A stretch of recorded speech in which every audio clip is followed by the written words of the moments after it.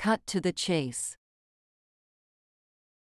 The idiom, cut to the chase, is a popular expression used in English that means to get to the main point or the most important part of something without wasting any time or getting distracted by unnecessary details.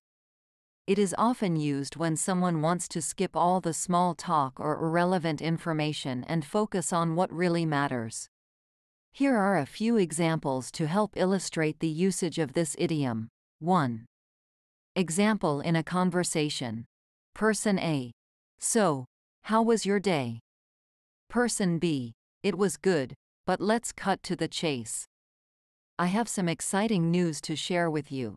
In this example, Person B wants to skip the small talk about how their day was and get straight to the point of sharing their exciting news.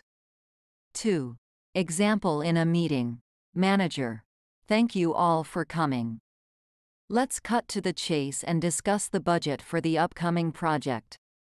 In this example, the manager wants to quickly focus the attention of the team on the main topic of discussion, which is the budget for the project. 3.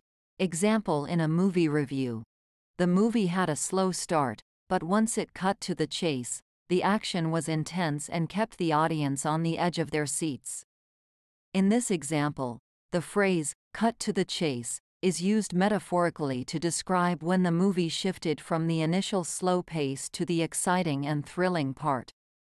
Overall, the idiom, cut to the chase, is a concise and effective way to express the desire to get straight to the main point without wasting time on unnecessary details.